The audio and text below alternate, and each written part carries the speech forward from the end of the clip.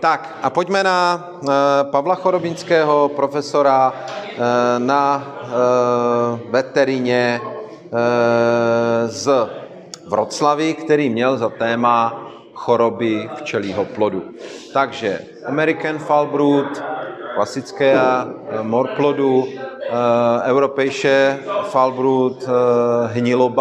plodu. Jaký jsou tam rozdíly, že máme u toho moru plodu od Erika jedničky, dvojky po čtverku, pětku, očekává se, že se ještě najde dalších pět typů, s tím, že ukazoval hlavně ty rozdíly mezi jedničkou, dvojkou. Eh, u té jedničky, že je to vlastně takový ten náš klasický, hodně páchnoucí mor, rozkládající se, napadající spíš zavíčkovaný plod, propadlý buňky. Tam to vidíme, u toho Erika 2 je to přesně skoro naopak, eh, kdy, kdy zase tam se napadá už přímo vlastně ten, ten plod, který je Eh, otevřený ještě, eh, takže to jsou ty základní rozdíly. Zase slyšeli jste asi některé práce, velice hezky o tom tuším přednášela paní doktorka Cihlářová z Opavské veteriny, neberte mě za slovo, eh, v Olomouci. Samozřejmě začalo se tím u toho moru o přenosových cestách. Byl, měl krásnou tabulku, bylo to z nějaké americké studie, že do 10 metrů eh, vlastně je šance nebo je asi pravděpodobnost přenosu eh, těch spor v takovém množství, aby propukl ten mor eh, z 90%, jakmile je to 100 až 500 metrů, tak je tam kolem 40% až, pardon, až do jednoho kilometru a nad jeden kilometr už je ten přenos cirka Eh, cirka desetiprocentní, nebo ta šance k onemocnění těch dalších rodin. Eh, s tím, že to vlastně potvrzuje to, co nám přednášel Vítě Marada, že do toho jednoho a půl kilometru eh, zkrátka tam jakýsi nebezpečí reálný jako je, není to na větší vzdálenosti. Co ale potom, prosím vás, ukazoval, tak bylo vlastně to, co mm, se jako už ví i u nás v České republice samozřejmě, tak jak eh, práce Erbana, tak jak jsou zapadlý práce Titěry s Kamlerem a tak dále, tak ukazoval, že de facto eh, ty spory a hledali je v eh, krmných věncích, já jsem se ho pak na to ptal, toho Pavla, hledali je v krmných věncích z různých vojvodství a zjistilo se, že vlastně ty spory najdou v 40 eh, až 60% zkrátka v polovině, eh, v polovině vzorků. Ale nepropukne tam ta nemoc. Tudíž de facto, a už to přednášel tuším i klíma a tak dále, de facto ten mor se začíná být a opravdu ve velkých úvozovkách jako všudy přítomné, j, všudy přítomný a tím pádem už je na nás, jako na té zootechnice, jakým způsobem ho zvládneme, e, aby se nám tam nerozvinul a vlastně nepřešel do těch, do těch klinických e, příznaků a nezačal nám škodit. Takže hovořil hodně o těch cestách těch patogenů.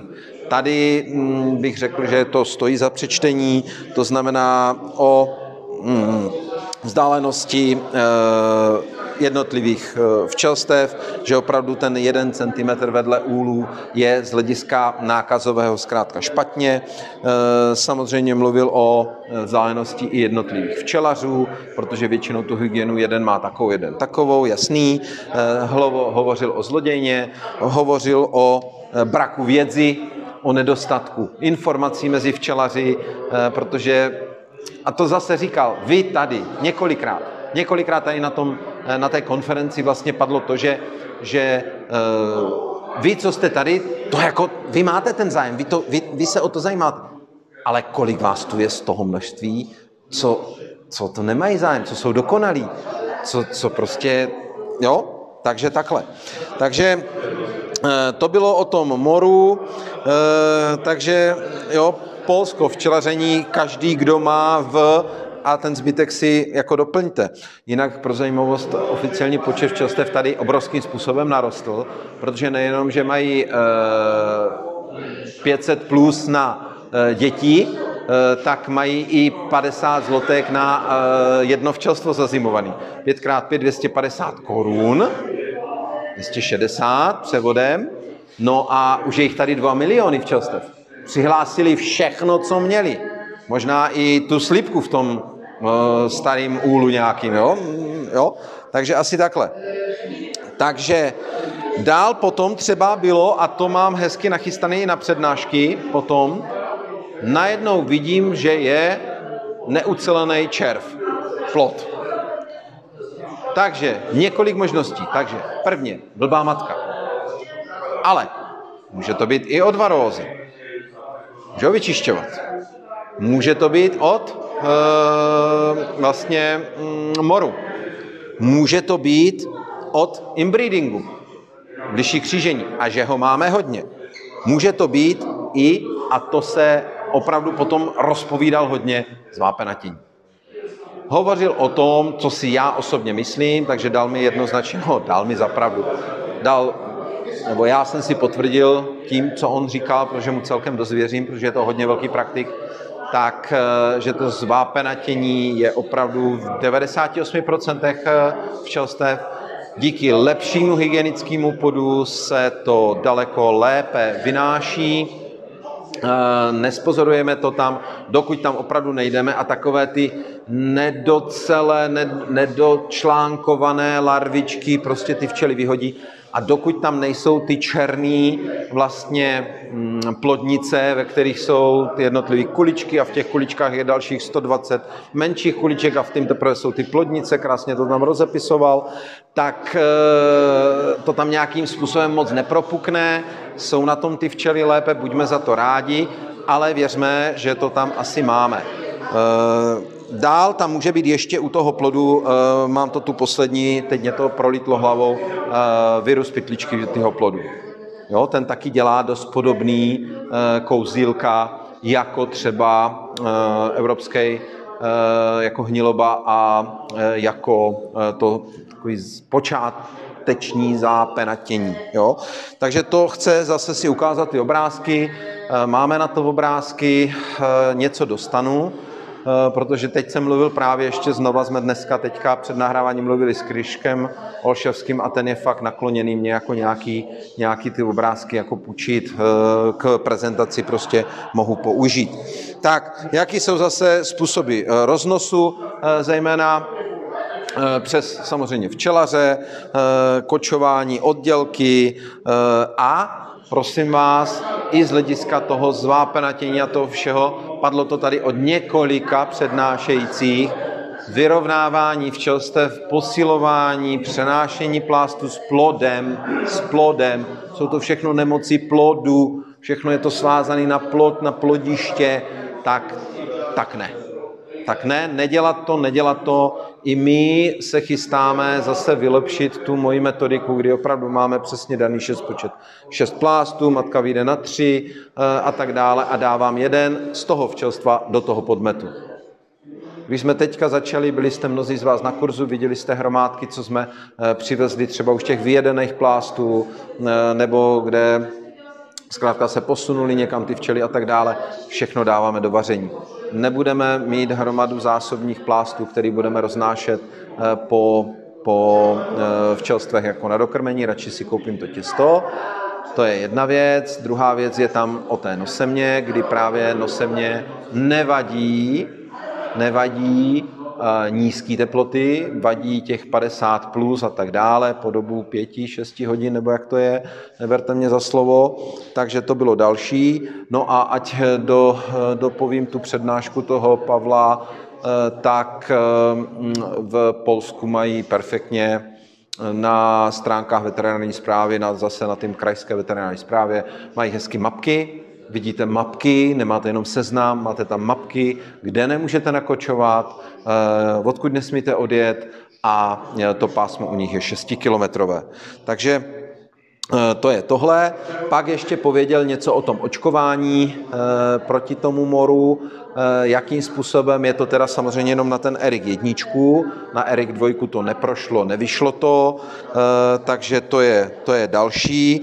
A o tím zvápenatění tady řekl jednu zásadní věc, jednu zásadní věc, prosím vás, a to bylo, zmizelo v roce 2011, kdy došla ceráne a tam ty včely ničila daleko víc než to zvápenatění.